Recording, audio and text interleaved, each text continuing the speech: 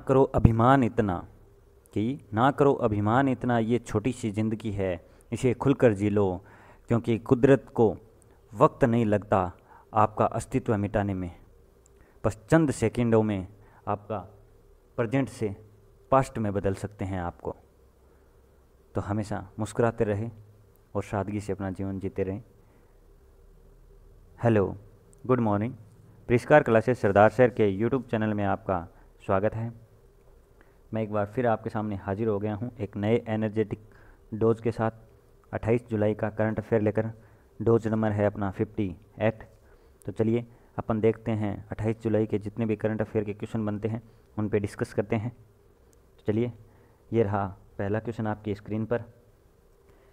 UNESCO के द्वारा भारत के उनतालीसवें विश्व विरासत स्थल के रूप में किसे चुना गया है? तो ये किसे चुना गया है? तो ये रुद्रदेश्वर मंदिर को चुना गया है। किसे चुना गया है? तो इसका सही आंसर है, वो है रुद्रदेश्वर मंदिर को चुना गया है। और ये कहाँ है? तो ये तेलंगाना में है। ये मंदिर है, वो यूनेस्को द्वारा अभी विश्व विरासत धरोहर में शामिल कर लिया गया है और 2019 में अपने राजधानी जयपुर को भी वर्ल्ड हेरिटेज सिटी में शामिल कर दिया गया था।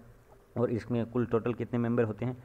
वो 21 लोग होते हैं, वो इस पर कमेटी बिठाते हैं और उसी के अकॉर्डिंग है, वो डिसाइड करते हैं कि कौन सा स्थल है या कौन सा शहर है, वो इस विरासत स्थल में आएगा। तो चलिए, अब थोड़ा तेलंगाना के बारे में जान तो तेलंगाना तेलंगाना की कैपिटल क्या है? तो वो हैदराबाद है, जो मौसी नदी के किनारे बसा हुआ है, और सीएम है के चंद्रशेखर राव, गवर्नर है डॉक्टर तमिल तमिलसाही सोनराजन, और प्रमुख त्यौहार कौन सा है? तो प्रमुख त्यौहार कानूमा प्रमुख त्यौहार है, नेशनल पार्क कौन कौन से? तो कासू ब्रह्मानंद रेड्डी, मर्गवाड़ी नेशनल पार्क है और इसे क्रिएटिव सिटी ऑफ़ ग्रेटोनोमी भी डिक्लेयर किया गया है। और चलिए, अब थोड़ा यूनेस्को के बारे में भी चर्चा कर लेते हैं। तो यूनेस्को इसकी फुल फॉर्म क्या है? तो United Nation Educational Scientific and Cultural Organization क्या है? United Nation Educational Scientific and Cultural Organization जिसकी स्थापना कब हुई थी? तो जिसकी स्थापना हुई थी 1945 में, और कब हुई थी? 1945 में हुई थी, और इसका हेडक्वार्टर कहाँ है? तो वो है। पेरिस में इसका हेडक्वार्टर है। तो चलिए, अब हम नेक्स्ट क्वेश्चन पे देखते हैं। किस राज्य के मुख्यमंत्री बी एस येदुरप्पा ने अपने पद से इस्तीफा देने की घोषणा की है? तो ये कर्नाटक के मुख्यमंत्री हैं, जिन्होंने इस्तीफा देने की घोषणा की है। अब इनको दो साल कंप्लीट होने वाले हैं। वो इससे पहले हैं। इन्होंने इस्तीफा देने की घोषणा कर दी है। और कर्नाटक के बारे में जान लेते हैं। तो वहाँ के गवर्नर कौन है? तो नए गवर्नर बने हैं। वो कौन है? तो वो थावरचंद गहलोत है। और कैपिटल क्या है? तो बेंगलोर है और दुनिया का सबसे बड़ा प्लेटफॉर्म वो कहाँ बन रहा है? तो वो हुबली, कर्नाटक में बन रहा है और सबसे ऊँचा कहाँ बन रहा है? तो वो जम्मू कश्मीर के चेनाब नदी पर बन रहा है और अलमाटी बाँध है वो कौन सी नदी पे है? तो वो कृष्णा नदी पर है और कृष्णराज सागर बाँध वो कौन सी नदी पे है? वो कावेरी नदी पे है। नेशनल पार्क कौन कौन से हैं? तो बांदीपुर, अंसी नगरहोल और कुदेरमुख है। ये इंपॉर्टेंट यहाँ के नेशनल पार्क है। तो चलिए नेक्स्ट क्वेश्चन पे चर्चा करते हैं। दोस्तों अगर ये वीडियो आपको पसंद आया है तो लाइक शेयर और चैनल को सब्सक्राइब कर दीजिए। और अगर पसंद नहीं आया है तो आप रीज़न बताते हुए आप कमेंट भी कर सकते हैं। लेकिन उससे पहले शर्त ये है कि आप इस वीडियो को पूरा देखिए तो फिर आप निष्कर्ष निकालिए। और अगर पसंद नहीं आया तो कमेंट बता कमेंट में अपनी राय दीजिए और डिसलाइक भी कर सकते हैं। तो चलिए अब नेक्स्ट क्वेश्चन देखते हैं। हाल ही में भारत के किन दो राज्यों के बीच सीमा विवाद है, वो छिड़ गया है। वो किन दो राज्यों के बीच छिड़ गया है तो वो मिजोरम और असम के बीच छिड़ गया है। किसके बीच? मिजोरम व असम के बीच छिड़ गया है। हालाँकि अब थोड़ा इसमें क्या है कि इसमें असम के नौ पुलिस हैं, पुलिस ऑफिसर हैं, वो शहीद भी हो गए हैं। तो अब सीमा विवाद है, वो छिड़ गया है। तो इस पर अपने गृह मंत्री जी कौन है? तो अमित शाह जी हैं। तो उन्होंने अब इसकी कमान संभाली है और दोनों के सीएम है, उनसे चर्चा की है। तो अब न्यूज़ में यही आ रहा है कि अब वहाँ की स्थिति है, वो नॉर्मल है। तो चलिए, अपन देखते हैं मिज़ोरम के बारे में। तो मिज़ोरम की कैपिटल कौन सी है? तो वह है आइजोल है और सीएम कौन है? तो जोरम थंगा है और गवर्नर कौन है? तो पी एस श्रीधरन पिल्लई है। कौन है? पी एस श्रीधरन पिल्लई है और असम। तो असम आपको पता है सबसे ज़्यादा नेशनल पार्क में के मामले में कौन से स्थान पर है? तो तीसरे स्थान पर है अपने भारत में। पहले स्थान पर कौन से हैं? तो पहले स्थान पर है अंडमान द्वीप समूह और मध्य प्रदेश है जिनमें दोनों में दस दस नेशनल पार्क है और असम में कितने हैं तो वो सात नेशनल पार्क है। तो असम की कैपिटल क्या है? वो दिसपुर है। सीएम कौन है? तो हेमंता बिस्वा शर्मा है। गवर्नर है जगदीश मुखी। नेशनल पार्क जान लेते हैं। इंपॉर्टेंट है वो बता देता हूँ। मानस, औरंगा, काजीरंगा, डिब्रू, साइकोवा, नामेरी, रायमोना, देहिंग, पटकाई। और करंट में क्या कुछ चलाया गया तो धनवंतरी योजना अरुणोदय योजना और पर्यटन संजीवनी योजना है। ये करंट में चलाई गई है। तो चलिए नेक्स्ट क्वेश्चन देखते हैं। किस राज्य की पुलिस ने लड़कियों, महिलाओं की सुरक्षा के लिए स्पेशल फोर्टी दस्तावेज़ का, दस्ते का गठन किया है? तो ये किसने किया है? तो ये मध्य प्रदेश ने किया है। जैसे आपने देखा होगा स्पेशल 26 जो मूवी अक्षय कुमार की आई थी, ठीक उसी तरह ये स्पेशल फोर्टी दस, दस्ते का गठन किया है। तो मध्य प्रदेश तो मध्य प्रदेश के बारे में अपन जानते हैं तो वहाँ के सीएम कौन है? तो वहाँ के सीएम है शिवराज सिंह चौहान, और गवर्नर कौन है? तो आनंदीबेन पटेल थी पहले। अब उनकी जगह हो गए हैं मंगू भाई छगन भाई पटेल। कौन हो गए हैं? मंगू भाई छगन भाई पटेल है और वहाँ पे कुशल श्रमिकों के लिए रोज़गार सेतु योजना और एक जिला, एक शिल्प अभियान चलाया गया है और संकल्प योजना है, वो बुज़ुर्गों के लिए चलाई गई है और नेशनल पार्क मैंने आपको बताया था, दस नेशनल पार्क है। कौन कौन से हैं? तो काना बांधवगढ़, माधव, संजय, पन्ना, सतपुड़ा। ये इंपॉर्टेंट वहाँ के नेशनल पार्क है और सोया स्टेट व टाइगर स्टेट के नाम से भी इसे जाना जाता है। और इसका जो मध्य प्रदेश का बाचा गाँव है, वो सौर ऊर्जा से संचालित होने वाला भारत का पहला गाँव है। चलिए, अब अपन देखते हैं नेक्स्ट क्वेश्चन पर। हाल ही में कारगिल दिवस कब मनाया गया? तो ये कारगिल दिवस कब मनाया गया? तो आप सबको पता ही होगा 26 जुलाई को है, वो कारगिल दिवस है, वो बनाया गया था। 26 जुलाई को सभी कारगिल दिवस में जो लोग शहीद हुए, उनको याद करने के लिए ये दिवस मनाया गया है।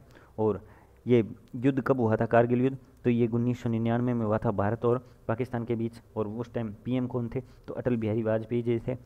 और इसी कारगिल विजय दिवस पर सिद्धार्थ मल्होत्रा की है वो मूवी आ रही है जो 12 अगस्त को रिलीज़ होगी। आप अगर देखना चाहो तो देख सकते हो। चलिए नेक्स्ट क्वेश्चन देखते हैं। कौन सी अंतरिक्ष एजेंसी बृहस्पति ग्रह पर रॉकेट भेजेगी तो ये कौन सी भेजेगी? तो ये भेजेगी नासा। कौन सी भेजेगी? तो ये नासा भेजेगी। तो चलिए, अब अपन थोड़ा नासा के बारे में जान लेते हैं। तो नासा की फुल फॉर्म क्या है? तो नासा की फुल फॉर्म है National Aeronautics and Space Administration क्या है? National Aeronautics and Space Administration. स्थापना जिसकी कब हुई थी? तो वो हुई थी उन्नीस जुलाई, उन्नीस सौ अट्ठावन को इसकी स्थापना हुई थी। हेडक्वार्टर कहाँ है? तो वाशिंगटन डीसी। कहाँ है? वो वाशिंगटन डीसी में है। तो चलिए अब नेक्स्ट क्वेश्चन पर चर्चा करते हैं। Renegades born in the USA. नामक पुस्तक किसने लिखी? तो ये किसने लिखी है? तो ये बराक ओबामा और ब्रूस स्प्रिंगनसन ने लिखी है। किसने? Barack Obama and Bruce Springsteen ने लिखी है। तो इसका सही आंसर हो जाएगा, वह ए, वह ब हो जाएगा। इसमें बराक ओबामा की है। वो जो जीवन के बारे में बताया गया है। और बराक ओबामा, आपको पता है, वो अमेरिका के पूर्व राष्ट्रपति हैं और इनकी एक पहले भी एक पुस्तक आई है, उसका क्या नाम है? तो ए प्रोमिस लैंड। क्या है? A promise land. तो चलिए नेक्स्ट क्वेश्चन देखते हैं। नागरिक उड्डयन सुरक्षा ब्यूरो के नए डीजी कौन बने हैं? तो ये कौन बने हैं? तो ये बने हैं नासिर कमल को बने हैं। कौन बने हैं? तो ये नासिर कमल बने हैं। तो इसका सही आंसर है वो है नासिर कमल। सबसे कम उम्र में टी ट्वेंटी क्रिकेट में डेब्यू करने वाले खिलाड़ी कौन बने हैं? तो वो कौन बने हैं? तो वो इसका सही आंसर है, वो है फर्थ्यू शो बने हैं, जो सबसे कम उम्र के हैं। आप सबको पता ही होगा, ये दिल्ली कैपिटल के आईपीएल में खेलते हैं। तो नेक्स्ट क्वेश्चन देखते हैं। पगासस नामक सॉफ्टवेयर पंगासस नामक सॉफ्टवेयर है, वो किस देश ने विकसित किया है? तो ये किस देश ने विकसित किया है? तो ये इजराइल देश ने विकसित किया है। किसने? इजराइल देश ने विकसित किया है। इस सॉफ्टवेयर में क्या है? तो ये बहुत ही खतरनाक सॉफ्टवेयर है। इससे ये होता है कि अगर आप चाहो तो उसकी पर्सनल डिटेल है, वो निकाल सकते हो। यानी उसकी अकाउंट डिटेल भी निकल सकती है और इसकी जो व्हाट्सअप और फेसबुक चैट है, वो भी निकल सकती है। तो वो इसका तो आरोप ये लग रहा है कि जो भारत की सरकार है, भारत सरकार है, वो इस सॉफ्टवेयर का यूज़ करके कुछ नेता या यहाँ तक के जज की सीक्रेट चैट्स हैं, वो भी निकाल रही हैं। तो इसका डेवलपमेंट किसने किया है? तो विकसित किसने किया है? तो ये इसराइल ने विकसित किया है। तो चलिए नेक्स्ट क्वेश्चन देखते हैं। स्माइल योजना किस मंत्रालय द्वारा लॉन्च की गई है? तो स्माइल योजना किस मंत्रालय द्वारा लॉन्च की गई है? तो ये की गई है सामाजिक न्याय एवं अधिकारिता मंत्रालय की। किसके द्वारा? सामाजिक न्याय एंड अधिकारिता मंत्रालय। तो ग्रीन सोट्रा वनीकरण अभियान की शुरुआत कहाँ की गई है? तो ये कहाँ की गई है? तो ये चेरापूंजी में की गई है। इसका सही आंसर है, वो है चेरापूंजी। मतलब चेरापूंजी में की गई है तो इसका इसे सदाबहार पूर्वोत्तर भी कहा गया है और यह अमित शाह जी ने इनका उद्घाटन किया है। और वो ग्रीनरी को बढ़ाने के लिए किया गया है। तो इसमें असम राइफल है, वो ग्रीनरी को बढ़ा रही है तो इसको, उसका ध्यान वो असम राइफल ही रखेगी। तो चलिए, नेक्स्ट क्वेश्चन देखते हैं। हाल ही में टाइफून इन फा ने किस देश में भारी तबाही मचाई है? तो ये किस देश में मचाई है? तो ये चीन में मचाई है। तो ये वहाँ के विदेश में जो तूफ़ान आते हैं या चक्रवात आते हैं तो उनको इस टाइप का नाम देते हैं। जैसे अपने भी एक आया था, नाम दिया था इंडिया में। ताउते आया था, आपने सुना होगा। तो चीन में आया है और इसे डब्ल्यू ने कहा है कि ये क्लाइमेट चेंज का है। क्लाइमेट चेंज की वजह से चीन में तबाही आई है और इसका ये चीन खुद ही जिम्मेदार है, क्योंकि आप सबको पता है ये तो आप सबको पता है कि चीन है, वो नेचर के साथ कितना खिलवाड़ करता है। तो ये किया क्या है कि ये हर जगह पानी पहुँचाने के चक्कर में नदियों पे, चीन में जितनी भी नदियाँ हैं, उस पर डैम बना दिए हैं। तो उसकी वजह से अब जगह जगह जैसे अपने भी नहर, ये नदियाँ छोटी छोटी निकाली जाती हैं, ठीक उसी तरह चीन ने भी निकाल दिया तो उसकी वजह से वहाँ पर बारिश हुई है और वो पानी है वो। पानी अपना रास्ता कहीं तो बनाएगा ही तो डब्ल्यू एम ओ ने क्लाइमेट चेंज है, वो बताया है। तो इसका सही आंसर है वो है चीन। तो चलिए नेक्स्ट क्वेश्चन देखते हैं। किस देश ने भारत की कोविड नाइन्टीन वैक्सीन, कोवैक्सीन के साथ समझौता समाप्त कर दिया है? तो ये किसने किया है? तो ये ब्राज़ील के साथ है, वो समाप्त कर दिया है। क्यों कर दिया है? क्योंकि ब्राज़ील है वो प्राइस में फेरबदल करने के चक्कर में है। वो कोवैक्सीन कौन बनाता है? तो वो भारत बायोटेक बनाता है।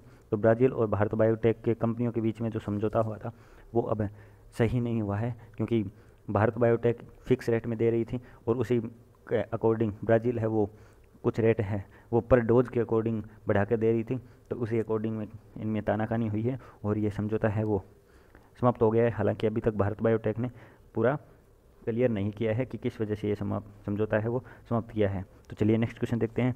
शिव नाडर ने किस कंपनी के एमडी के पद से इस्तीफा दिया है? तो ये किस किस कंपनी के एमडी के पद से दिया है? तो एच सी एल किसके दिया है? एच सी एल तो एच सी एल की स्थापना कब हुई थी?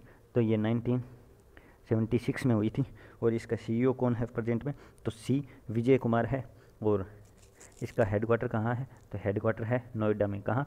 नोएडा में। ये लास्ट डोज का क्वेश्चन है तो इसका सही आंसर है, वो है मध्य प्रदेश। और ये आपके लिए छोड़ा गया क्वेश्चन है, आप इसका आंसर मुझे कमेंट बॉक्स में ज़रूर दें। और अगर दोस्तों वीडियो पसंद आया है तो लाइक कर दें, और अगर पसंद नहीं आया है तो कमेंट बताते हुए डिसलाइक भी कर सकते हैं। आप स्वतंत्र हैं, मैं आपसे आगे लेता हूँ। जय हिंद, जय Bharat. Bye bye, take care.